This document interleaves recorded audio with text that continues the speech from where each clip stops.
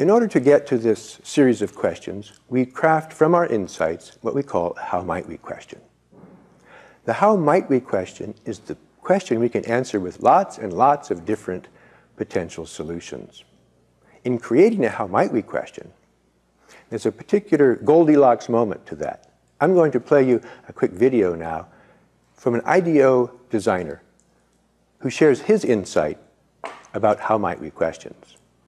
When we invite people to brainstorm with us, we create how might we questions. We do this so often, we have to shorten it.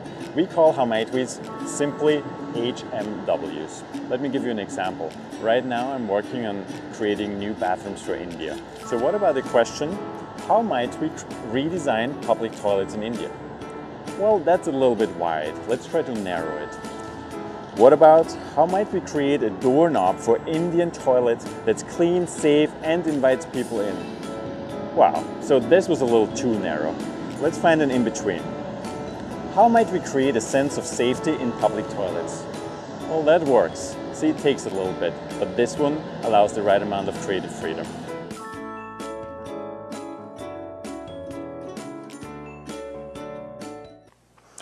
So when we go about ideation or creating multiple solutions, we always do some warm-ups beforehand. Because like an athlete getting ready to run a track meet, you don't run out and run cold. You warm yourself up.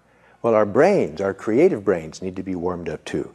So we go through lots of different exercises. Sometimes we sketch. This is a bunch of corporate CFOs, by the way. Other times we play games of creating multiple uses for a, offbeat problem. We often will warm up a whole team using ball toss exercises, sounds, and stories.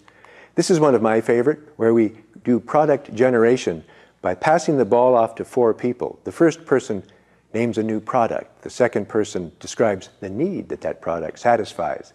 And the third tells us how it satisfies that need, while the fourth creates the marketing tagline name. These kinds of exercises and warm-up pieces condition people for the work ahead, which is idea generation. And we use multiple strategies for doing this. There are hundreds of them that we deploy whatever our situational needs might be. But all of them uh, use different aspects of our mental faculties to stimulate new ideas. For example, humor is a very useful tool in this work because it creates a lightheartedness and a lighter, faster energy, which is helpful in idea generation. Metaphors are an important tool. The metaphor for the original uh, Apple desktop computer was a sunflower. And you can see the relationship between the two. Metaphors give us access to a new area of imagination, like a tempest in a teapot. A metaphor that gives you a sense of bounded up energy. Steve Jobs famously said that computers are like a bicycle for our minds. And an Apple computer is a very different idea and a very different execution than some other uh, laptops that we all probably know and often use. The principle behind all of this, ideation, is the magic of constraints. Each time we use one of our idea generation techniques, we might generate 30 or 40 ideas from it, and then our mind runs dry. So we'll deploy a new technique, a new strategy, and it slightly changes the nature of the problem each time, tricking our brain into thinking it's solving a different uh, challenge.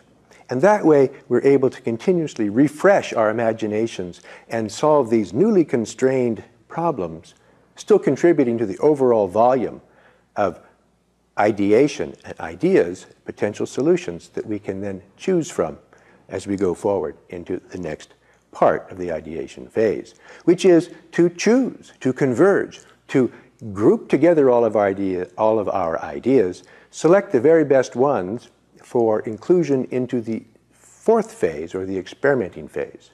Oftentimes, our best technique for making these choices is something called dot voting, which is a very simple tool that is very efficient for getting to the best ideas that we've generated. And as the screenshot shows you, we do it very quickly and very simply. I often say, vote like you're in Chicago, vote early and vote often. The ideation phase yields hundreds and hundreds of ideas. When we converge down to those that we think are most promising, we move them into the next phase that we'll talk about in just a moment.